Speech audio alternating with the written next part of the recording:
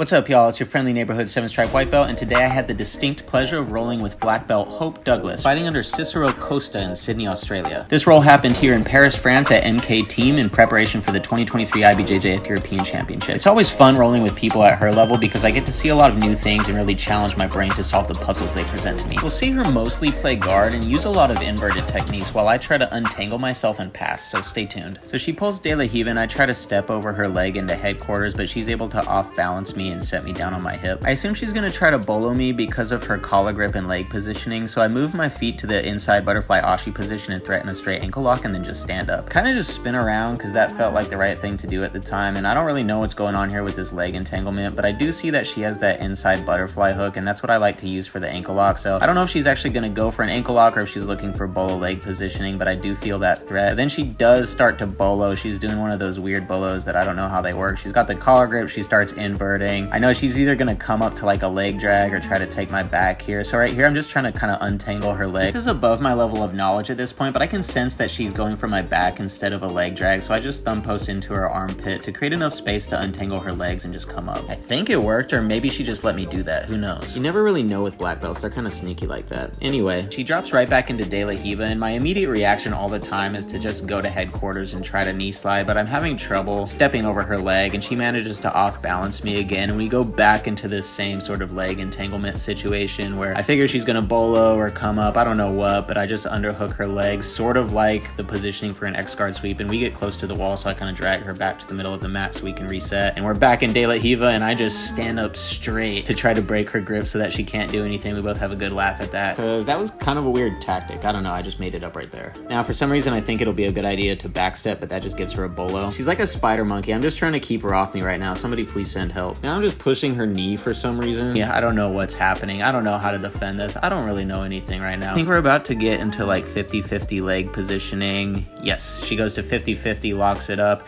and I'm trying to take her foot off of my hip and untangle that lock she has so that I can step out of it. I don't know what she's going for, but I do step out of the underhook that she had on my right leg. So right here, I reach back to get the leg off of me, and then I'm trying to pass right here, but she's getting that weird leg positioning again. I can sense she's gonna bolo.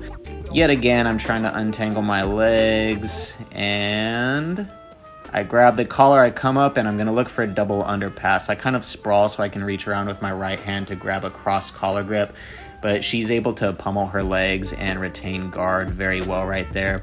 And she comes back into a X guard positioning and off balances me forward. I just kind of drop forward like a sack of heavy garbage and wipe the sweat off my face. And then I grab her left leg and move it over to 50-50 and she does the same thing to my right leg and she's got a collar grip. I don't know what she's looking for, but I'm gonna try to stand up and again untangle the leg from 50-50 so I can step through. But she grabs one of my lapels and starts wrapping it around both of our legs and then around